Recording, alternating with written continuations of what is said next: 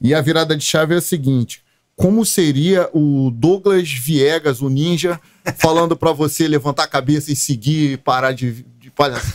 Foda-se os problemas, cara! Seja foda! Deus tá contigo, malandro! Seja foda, meu truta! Ergue essa cabeça, xará! Seja igual LeBron James! Hum. Quando ele fica todo vermelho assim, tremendo. Eu gosto do LeBron James porque o LeBron James quer que você se foda! Foda-se você, cara! Ô, Ninja, como é que era a história daquele vizinho que não tava nem aí pra tua vida? Tu lembra? Que tinha um vizinho que, pô, meu irmão, o cara não olhava pra você, não te cumprimentava, não dava bom dia. E tu Que ficou- se foda esse cara, cara. Eu tô vivendo no divino. Eu não tô nem Ele aí. fala assim, ó, o cara não me dava bom dia. Porra, eu admirava esse cara, porque realmente ele queria. Pô, que eu me foda, velho. Outro dia apareceu um cara na rua, veio pra mim, Ninja, sou muito seu fã, me dá uma dica pra minha vida. Eu falei, vai se fuder. Isso é a melhor coisa que eu posso fazer. Cada um cuida da sua, cara. Deus deu uma vida pra cada um, ele é perfeito. Quem é o ninja? O pessoal diz que não conhece. Poderosíssimo É ninja. o poderosíssimo ninja. Ele, ele é. Cara, de onde ele veio? Porque assim, eu Jogador adoro de vídeos dele. basquete. Ele era um jogador de basquete. É, ele, tentou jogar, ele tentou jogar profissionalmente nos Estados Unidos, acho que ele jo- jogou um tempo no universitário.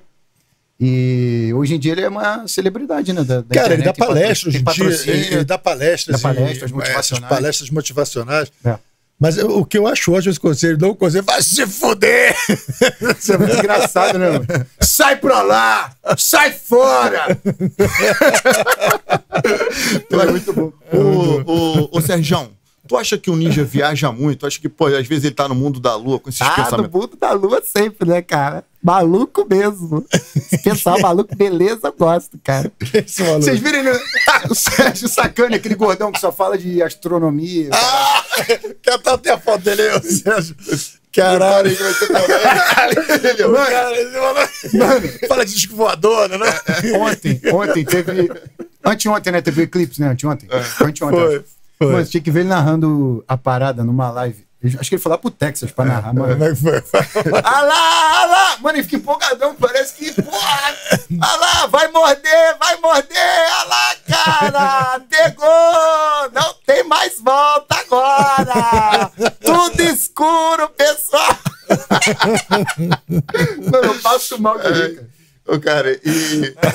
Ô, ô Serjão, o que tu tá achando dessa treta aí do, do Elon Musk que explora a, a, a internet através de satélite e tá tendo essa briga com o ministro aí? que Isso vai afetar. A gente vai ficar sem internet, bicho? Ah, complicado isso aí, né, cara? O Musk revolucionou, né, a comunicação do mundo, né, cara? Tinha que dar mais moral pro cara, né? Tem a Starlink, que é a internet dele, boa beça, cara. Bem bacana o trabalho dele. E o pessoal pega pilha, né? Pega pilha, o cara é visionário, né? Empresário é mal visto no Brasil, né, cara? Faz de merda, né? Esse cara surgiu da onde, esse, esse astrônomo aí, Bruno?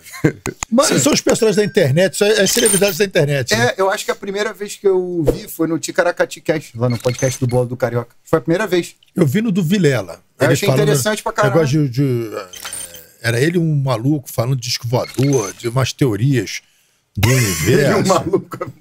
Ele, não, ele é um outro cara falando das teorias do universo.